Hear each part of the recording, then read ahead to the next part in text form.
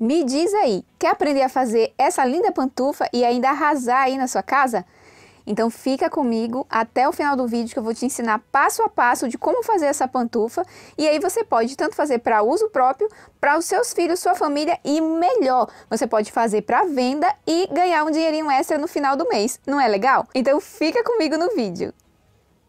Olá pessoal, eu sou a Lid da Novelo Rosa e o vídeo de hoje está super especial, como vocês podem ver. Eu preparei essa videoaula para vocês com todo carinho, como sempre eu preparo, mas hoje está especial. Se você já nos acompanha há bastante tempo, você viu que teve aí um tempo que logo quando começou essa fase, né, de esse probleminha que está acontecendo no mundo aí, que a gente pode falar o nome, então, eu fiz lá um vídeo para vocês de uma pantufa, é uma pantufa bem simplesinha, estilo meia, e todo mundo amou, várias pessoas fizeram e conseguiram vender, tiraram a renda do mês, tiraram, conseguiram pagar as contas apenas com o dinheiro das pantufas, porque muitas portas tinham se fechado, aconteceram vários problemas, né? E com a venda das pantufas elas conseguiram se manter. E com esse daqui não vai ser diferente. Gente, esse modelo aqui, olha que coisa mais linda. Eu vou te ensinar, eu tenho essa opção aqui, olha, em vermelho. Eu vou te ensinar a fazer aqui, ó, esse modelinho que é da Mini. Os dois são da Mini, mas são, né, é, estilos diferentes. Esse aqui eu fiz mais com esse lacinho, bem frufruzinho, bem fofinho. Esse daqui eu fiz mais básico, mais tradicional. Eu recomendo você usar uma espessura média do fio de malha. E aí você, se você usar a espessura média, você vai usar a agulha número 8, tá? É o que eu mais uso e o que eu mais indico para fazer esse tipo de modelo aqui. Outra dica também importante, não use fio de malha seco, ressecado, duro, aquela coisa que, né, você vai fazer assim, você vê que a textura dele não é legal. O que eu vou usar aqui com vocês, olha, ele é uma textura muito gostosinha, é tipo algodão com elastano, ó, ele estica um pouquinho, ele não é totalmente lycra, eu não indico fazer com lycra esse modelo porque ele vai direto no chão, porque é uma pantufa para usar dentro de casa. Então é importante que você faça é, num algodão com elastano, tá? Assim, ó. Dessa forma assim, tá um fio bem gostosinho, ó, bem fofinho. Você aperta assim, você sente que ele parece uma espuminha, sabe assim, ó. Então, esse fio aqui que eu indico para fazer esse tipo de, de pantufa, tá bom? Então, vamos lá para o passo a passo. Mais informações eu falo no decorrer do vídeo. Vamos iniciar então, pessoal, fazendo 10 correntinhas, tá bom? Eu vou pegar aqui o meu fio, tô usando a agulha 8 de acordo com o fio, tá? Então, aqui você vai pegar, vai dar um, uma voltinha assim e vai fazer o nó corrediço, que é aquele nó que a gente inicia aqui o nosso trabalho. E aí eu venho, puxo, acerto ele direitinho para ele não ficar muito folgado e aqui eu vou colocar 10 correntinhas, tá? Só laço agulha, passo por dentro, laço agulha, passo por dentro, laço agulha, passo por dentro. Cada trancinha dessa, ó, cada alcinha dessa é equivalente a uma correntinha, tá? Ó, um, dois, três, vou colocar aqui mais sete para fazer dez. Cheguei aqui, já fiz as minhas dez correntinhas, faço mais uma correntinha pra gente virar. Essa, essa virada que a gente fala, ela vai ficar assim, ó, como se ela estivesse saindo dessa daqui. E aí eu venho, ó, coloco a minha agulha aqui nessa terceira, né, correntinha aqui e vou fazer um ponto baixo.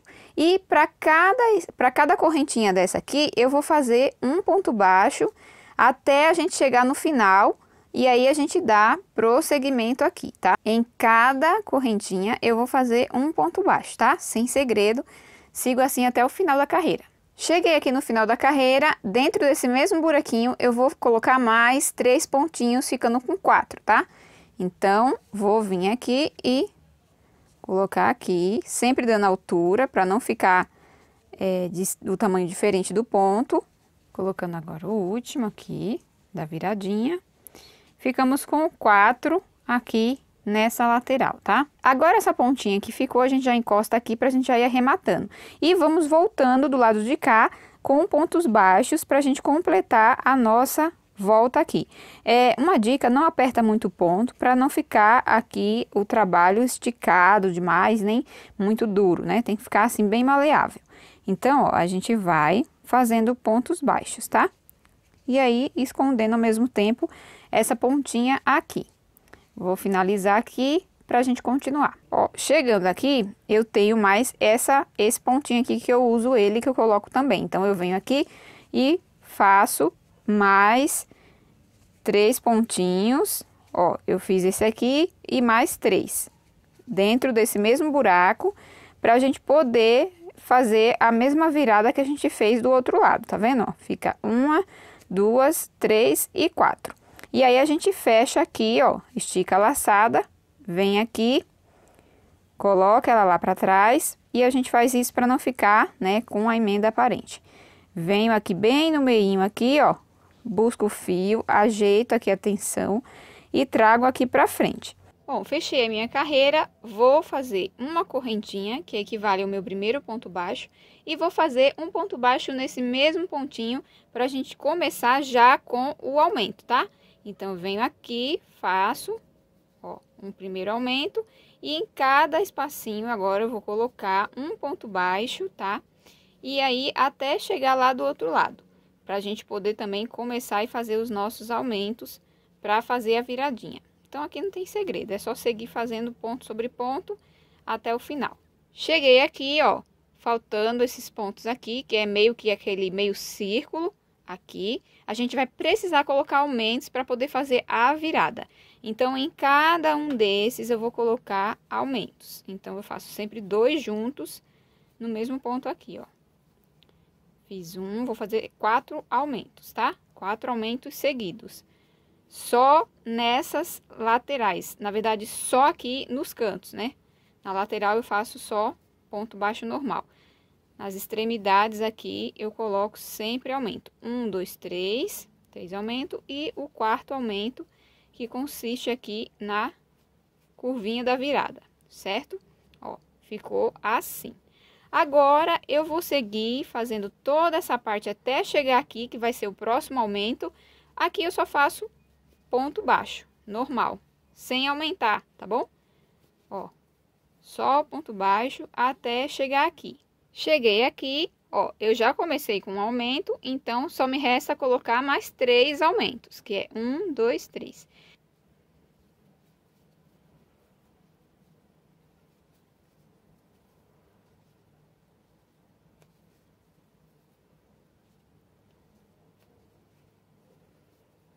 Prontinho, agora a gente estica a laçada, vem aqui com a nossa agulha de trás para frente, puxa a laçada lá para trás, ó, introduz a agulha bem aqui no meinho, busca essa laçada, dá uma ajeitada na tensão para não ficar muito folgada. E traz aqui para frente novamente, tá? Terminamos aqui a nossa segunda volta da sola da nossa pantufa, tá bom? Agora nós vamos fazer a última. E aí é a mesma coisa. Para iniciar, vamos começar também com aumento. Eu venho aqui, fiz a minha correntinha inicial e já venho no mesmo ponto e faço o meu aumento, tá? Ó. Aqui. Sigo fazendo pontos baixos até chegar aqui, no meio desse aumento, entre um aumento e outro, que eu vou precisar colocar um aumento aqui. Então, essa parte é bem simples, a gente continua fazendo ponto baixo até chegar do outro lado, para a gente continuar aqui colocando os aumentos para finalizar a carreira. Cheguei aqui, ó, entre um aumento e outro, tá vendo? Tem um aumento aqui, um aumento aqui, e aqui no meio a gente vai colocar um outro aumento. Agora vamos intercalar os aumentos aqui nas laterais. Agora eu fiz um aumento e aí no próximo eu vou fazer um sozinho. No próximo, um aumento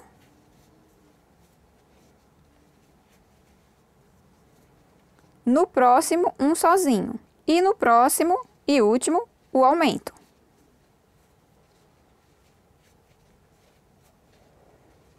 Finalizei aqui a minha cota de aumento, agora eu vou só fazer pontos baixos até chegar na minha lateral aqui e a gente repetir esse mesmo processo que a gente fez aqui desse outro lado. Cheguei aqui, ó, no encontrinho entre um aumento e outro, vou repetir o mesmo processo coloco aumento.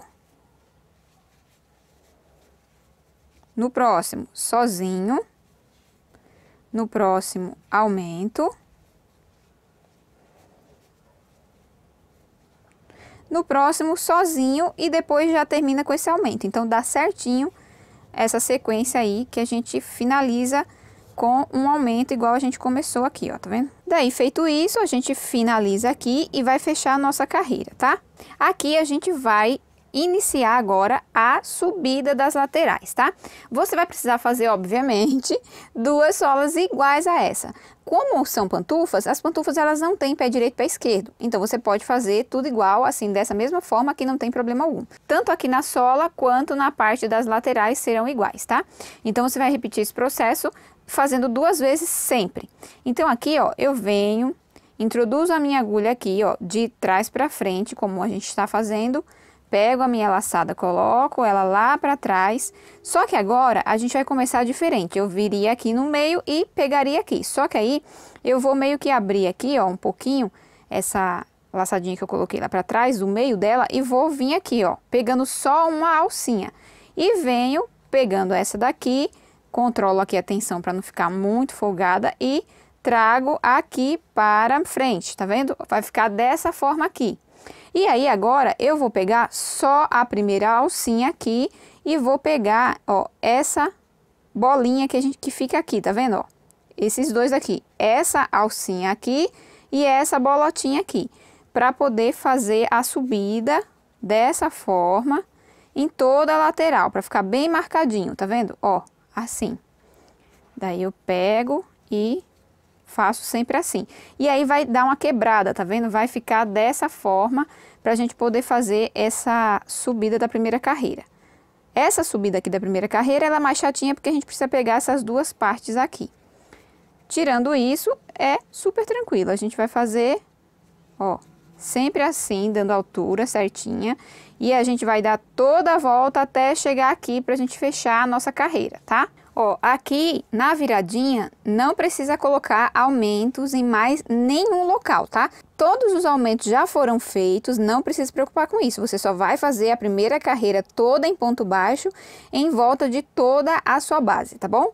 Sem aumentar nada. E aí agora a gente vai medir, ó, de dentro, a parte de dentro, até aqui, ó, deu 21 centímetros, tá? 21 centímetros esse 1,21 centímetro, ele vai fazer um tamanho de 31. Se você quiser baixar essa tabela, eu consegui ela no Google, é só você colocar lá a tabela de medida de pé.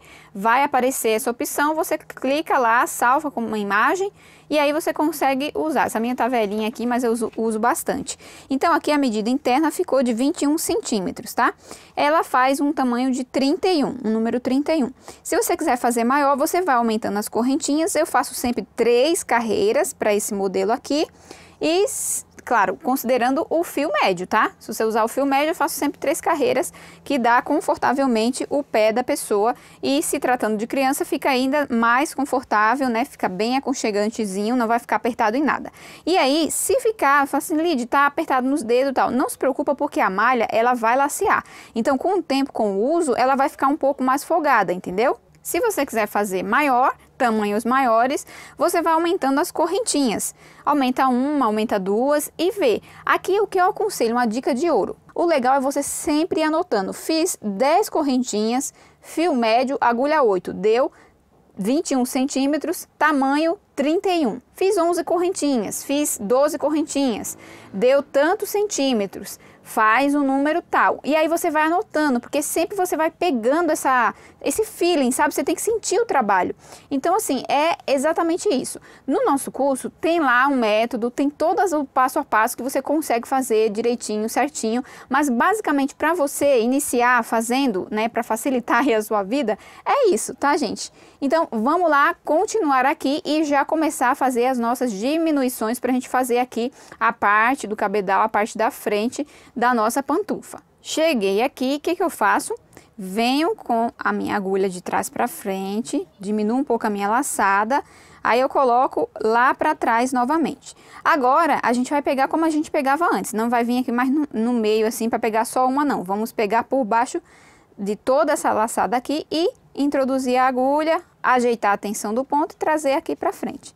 Estica a laçada, faz uma correntinha que equivale a um ponto baixo e vou fazer pontos baixos até mais ou menos na metade, tá? Um pouquinho na metade aqui, para a gente poder iniciar a nossa diminuição. Então, aqui segue normal, fazendo pontos baixos até chegar mais ou menos aqui na metade. Ó, contando com a primeira correntinha, temos oito pontos baixos. Um, dois, três, quatro, cinco, seis, sete, oito. E a partir de agora eu vou colocar dois médios ponto alto. Médio ponto alto é o que a gente laça, coloca lá no buraquinho, vem, laça de novo, dá altura, laça e tira tudo de uma vez, tá? Ó, tirei tudo de uma vez. Vou fazer mais uma vez, lacei minha agulha, vou lá, busco o fio, dou altura, laço e tiro tudo de uma vez. Eu fiz esses dois pontos médio alto para a gente começar a subida e fazer as diminuições. Então, aqui eu venho laço, venho aqui e faço agora um ponto alto, só que eu não termino ele. Eu laço de novo, deixo dois na agulha. Laço mais uma vez, vou lá no buraquinho, busco o fio, dou altura, laço, tiro dois. Quando eu ficar com três na agulha, laço, tiro os três. O que, que a gente fez aqui? Uma diminuição em ponto alto. Vou fazer mais outra. Venho, laço, coloco lá no buraquinho, busco o fio, dou altura, laço novamente, tiro dois e deixei dois na agulha. Laço de novo, vou lá no outro buraquinho, dou altura, laço, tiro dois, fiquei com três, então agora eu tiro os três de uma vez. Continuo aqui, ó, tiro dois, deixo dois na agulha, laço novamente, vou no próximo, laço, tiro dois, fiquei com três, tiro os três de uma vez. Então, aqui eu já fiz três.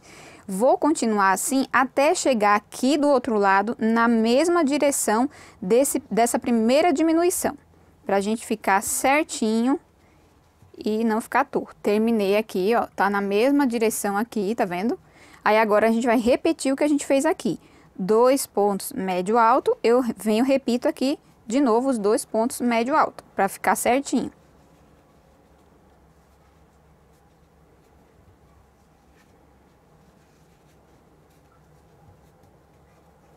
E agora, sigo fazendo ponto baixo até chegar no meu fechamento, que é aqui.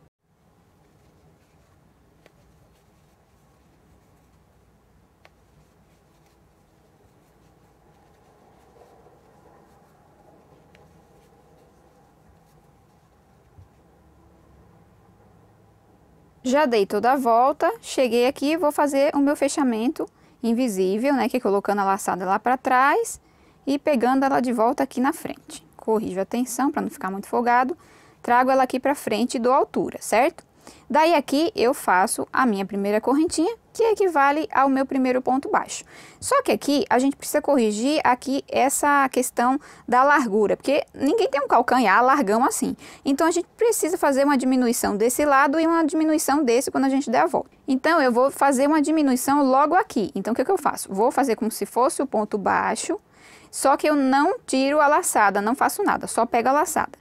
Vou para o próximo, faço outra laçada, fiquei com três, então daí aqui eu venho e faço essa diminuição, porque aí vai ajudar na parte da diminuição aqui do calcanhar para ficar mais confortável, tá? Feito isso, eu sigo fazendo meus pontos baixos até chegar na primeira, no primeiro ponto médio alto, tá? Vamos lá.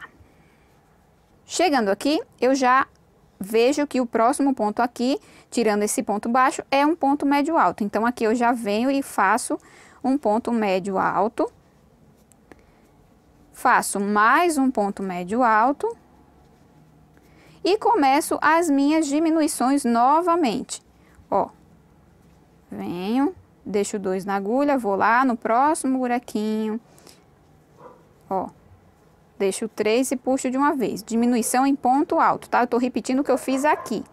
Laço novamente, vou no buraquinho, busco a laçada, dou altura, laço novamente, tiro dois, deixo dois na agulha, reservado.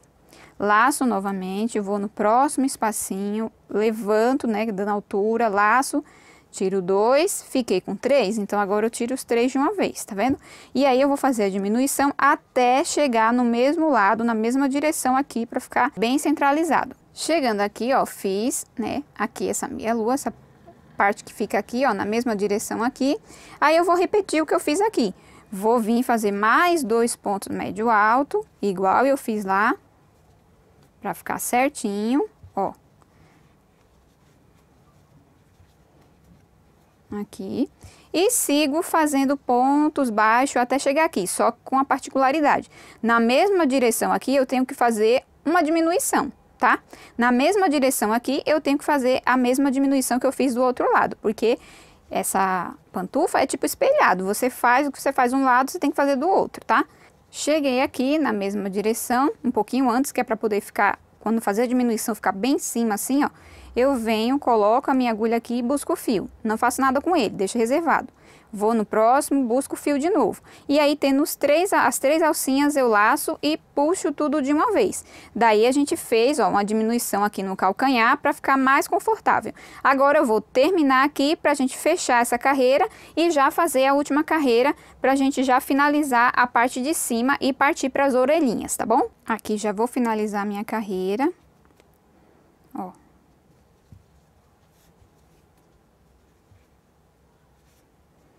Faço minha correntinha, que equivale ao ponto baixo, sigo fazendo ponto baixo sobre ponto baixo, sem precisar diminuir mais agora, tá? Aqui, por enquanto, é só seguir com ponto baixo até a gente chegar aqui, ó, nessa, nesse comecinho aqui que a gente vai começar a fazer a diminuição aqui da frente. Cheguei aqui, eu já começo a fazer a minha diminuição, então eu venho Busco a laçada, deixo na agulha, vou no próximo, busco a laçada, fiquei com três, diminuo. Ok, fiz o primeiro. Vamos lá de novo. Ó, busquei a laçada, busquei de novo, fiquei com três, outra diminuição. E vamos de novo. Busquei a laçada, reservei, busquei ela de novo, fiquei com três, laço, tiro tudo de uma vez. Fiz aqui a minha diminuição. Então, agora eu sigo fazendo meus pontos baixos normais. Vou seguindo aqui, fazendo só ponto baixo, tá? Se você quiser deixar ela assim, já tá finalizada. Praticamente já tá pronta. Se você não quiser fazer o acabamento em volta, não tem problema. Mas eu vou fazer o acabamento em ponto baixíssimo para te dar essa opção. Venho aqui, puxo a minha laçada, venho aqui, coloco na agulha, puxo, trago aqui para frente. E agora, ao invés da gente fazer assim, a gente vai fazer assim, deitado, que é o ponto baixíssimo, tá? Ó, eu pego aqui e vou fazendo em toda a volta da minha peça. Uma coisa bem importante, não aperta, porque senão você vai apertar aqui a entrada do pé, tá? Então, aqui é só mesmo questão de ponto decorativo.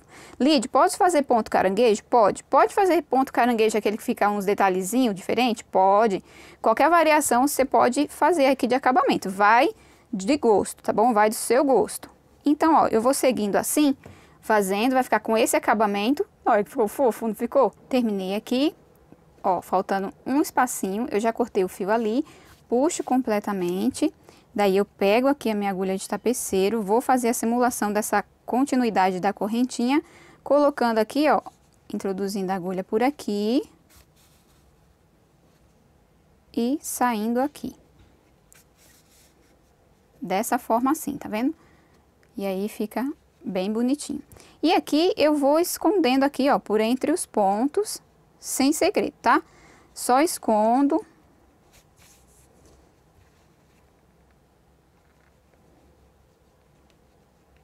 aqui.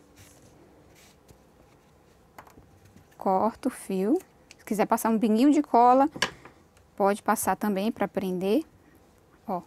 E aqui tá pronto. Você vai fazer duas unidades dessa igualzinha, sem né, mudar nada, tá? Faz aí. E aí agora vamos fazer a nossa orelhinha. Ó, para fazer a orelhinha é bem simples. A gente usa o círculo mágico, só que a gente não fecha ele. A gente faz carreira de ida e volta, só duas carreirinhas, e aí, ó, fica desse formato aqui, a gente deixa a pontinha para a gente poder costurar. Então, vamos lá, vamos fazer aqui que é bem simples. Pego o meu fio, dou uma volta assim, fazendo esse elo, essa argolinha, vou no meio, busco o fio que vem do rolo, trago aqui para frente, com o indicador eu travo aqui, com esses, do, esses outros dedos eu seguro o fio que vem do rolo, e daí aqui eu faço uma correntinha. Feita a correntinha, eu já posso soltar aqui que ele não vai desmanchar. Daí aqui eu vou colocar oito pontos baixos, contando com essa correntinha. E daí a gente vai dar continuidade, vamos lá. Peguei a ponta do meu fio aqui, puxo completamente, ó, fechou aqui, certo? O normal a gente viria aqui, né, para formar o círculo mesmo. Só que a gente vai fazer, né, uma carreira de ida e outra de volta. Então, aqui eu venho, faço uma correntinha, giro o meu trabalho, nesse mesmo ponto eu venho e faço um aumento, que são dois pontos juntos, dois pontos baixos juntos. Então, olha, em cada espacinho desse, em cada buraquinho, eu vou colocar um aumento em ponto baixo. Então, são dois pontos baixos no mesmo lugar, tá? O pessoal do sul fala que é ponto casado, né? Aqui vai ser tudo casado, não tem nenhum solteiro, viu? Ó, tô já terminando. Aqui.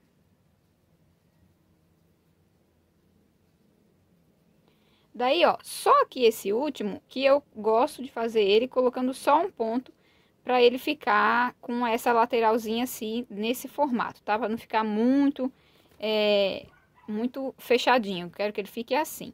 Então, aqui agora, a gente faz uma correntinha para travar o fio, deixa um tanto assim, mais ou menos, pra gente poder costurar na peça, né? Puxa completamente o fio, e aí aqui travou, Tá vendo? Dessa forma aqui. Essa pontinha aqui que sobra, que é aquela parte que a gente puxou pra fechar o laço mágico, você vem aqui, ó, ela tá saindo daqui, né, ó, tá saindo desse lado aqui. Aí é só eu colocar pra cá, ó, escondendo aqui por entre a trama do trabalho, ó, dessa forma aqui. E aí a gente já arremata. Como eu sempre falo, eu corto, se quiser passar um pinguinho de cola, pode passar, então agora vamos lá costurar. Pra gente costurar aqui na peça é bem simples, tá? Bem fácil, não tem nenhum segredo. Você vai pegar aqui, ó, colocar a agulha de tapeceiro, que fica mais fácil, né? Se você não tiver, pode ser com agulha de crochê mesmo. E daí, ó, você vai meio que centralizar aqui, ó. Ó, pra ficar um assim do lado e a outra mais ou menos aqui assim, ó. Na mesma direção da qual você fez a outra também. Você dá uma olhadinha, vê se condiz com a mesma direção da outra, né, para não ficar uma mais alta, mais, mais baixa. E daí você começa a costurar. Essa daqui eu coloquei bem reta aqui assim. E aí a gente vai começar a costurar. Ó, seguro aqui, coloco pra dentro. Pego, puxo, ó, assim. Daí por dentro mesmo, ó, eu saio aqui, pego um pouco do preto aqui, da parte da orelha puxo bem, aí eu entro de novo, ó, venho por dentro, assim, saio aqui também, ó, aqui em cima, pego um pouco do preto de novo, aqui, ó, venho por aqui, não tem lugar certo, é só você costurar de forma que ela fique assim, tá vendo? Meia aqui em pezinha e meia aqui deitadinha. Deixa eu ver aqui o tamanho que eu deixei, certinho. Daí aqui eu venho, coloco pra cá de volta, aqui, saio aqui fora e ponho por aqui para ficar aqui na frente, que depois, quando a gente prender a outra, a gente vai amarrar. E assim a gente vai costurando tudo até chegar aqui no final e a gente amarrar, tá? A gente prender essa parte aqui. Como essa parte aqui tá curtinha, eu vou pegar e vou colocar ela por aqui por dentro e vou esconder no próprio, na própria orelha, porque senão não vai dar pra amarrar junto com a outra, como eu tava pensando. Ó. Daí eu vou escondendo aqui no meio da trama. No final, passo um pinguinho de cola e trava o fio aqui. A mesma coisa eu vou fazer no outro, tá? Mesma forma, ó. Vou esconder aqui. Dar uma puxadinha para trás. E aí aqui a gente já corta, passa o pinguinho de cola para segurar. Aí aqui desse outro lado, fazer a mesma coisa. E daí a gente já vai para a parte de prender o laço e já praticamente está finalizado, tá? Só questão de acabamento. Se quiser colocar a etiquetinha da sua marca, fica top, top, top, tá bom? Para a gente colocar o laço é bem simples, bem fácil, tá? Eu fiz esse laço assim, fofinho, mas você pode fazer qualquer laço, aí na internet tem muito vídeo aí ensinando, tá? O passo a passo, é bem simples, bem facinho. Esse tecidinho aqui é aquele aquele tecido de, de ovelhinha, sabe? Eu não sei o nome exatamente, carapinha. Uns falam que é carapinha, outros falam que é melton. Tá ofuscando aqui por causa da, da luz.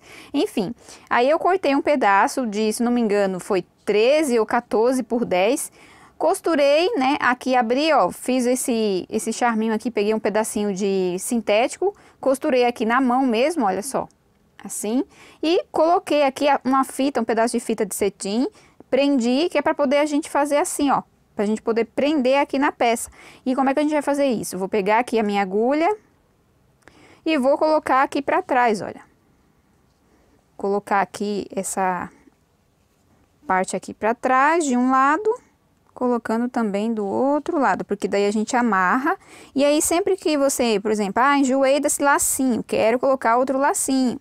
Aí você pode simplesmente des des desamarrar aqui, ó, tá vendo? Porque aqui eu venho, ó, Dou um lacinho, não precisa apertar muito, não incomoda em nada quando calça, é de boa. Ó. E daí você coloca aqui pra dentro. Assim. Depois ajeita direitinho, conforme você calçar, ele vai pegando o formatinho aqui. Se quiser também fazer o laço menor, para ficar mais aparecendo aqui, ó, a orelhinha, também pode. Mas o laço, geralmente, da mini é bem grandão, né? Ó, tá vendo? E fica super confortável. Se quiser também, dá para fazer aqui uma palmilha, fica da hora, dá para fazer, dá para encapar, fazer tudo bonitinho a palmilha aqui e colocar, tá? Se você quiser, para deixar mais fofinho, porque esse fio de malha aqui, olha, é um fio assim bem gostoso, sabe? Não é um fio duro, grosso, assim, aquela coisa seca, é bem maleável, bem gostosinho assim ao toque, tá bom? Não machuque nada no pé. E para deixar antiderrapante, eu vou dar uma dica. Eu não vou fazer isso aqui porque na minha, nesse caso aqui, não tá, é, não escorrega, tá? Não escorrega em nada. Então aqui, olha, você tem a opção de fazer o quê? Você pode pegar a cola quente e vir contornando, colocando aqui, ó, a cola quente, aqui, ou se você quiser, você pode só dar uns pinguinhos, né, colocando aqui. Ou uma outra opção também, que inclusive eu indico no, no meu curso, para as minhas alunas, que é você passar aquele segura-tapete, tá? Você passa uma camada de segura-tapete e espera secar. Se tem malha que ela suga, que ela suga o resíduo. Então, se ela sugar, você tem que passar mais uma outra camada esperar secar e aí sim vai ficar bem antiderrapante, não vai escorregar nadinha, caso você ache que fique escorregando, tá bom? A única assim malha que eu não indico para vocês fazerem, né, se for fazer assim direto para colocar no chão, é a lycra. Porque né, a lycra ela já como ela é muito assim elástica, então possa ser que escorregue um pouco. Mas se for colocar o solado, não tem problema, você pode fazer, tá bom? Então é isso. Olha só que lindo que fica, né? Você pode decorar, fazer das, de várias formas. Como é pantufa, não tem direito esquerdo, né? Você vai, você vai, conforme você vai calçando, o pé vai formando o direito esquerdo. Então fica assim. O vídeo de hoje, pessoal, foi esse. Eu espero que vocês tenham gostado. Quem fizer, marca a gente no Instagram. E se você quiser se aprimorar ainda mais a fazer tanto esse quanto outros modelos, são muitos, muitos, muitos modelos que tem no nosso curso, estamos com as vagas abertas. Se você estiver vendo esse vídeo agora, clique aqui no link que está logo abaixo na descrição e aí já garante a sua vaga, onde você vai se aprimorar em vários modelos, tá? De pantufa, de chinelo, de sandália, são vários, tá bom? Te espero lá. Um super beijo, fiquem todos com Deus e até o próximo vídeo. Tchau, tchau!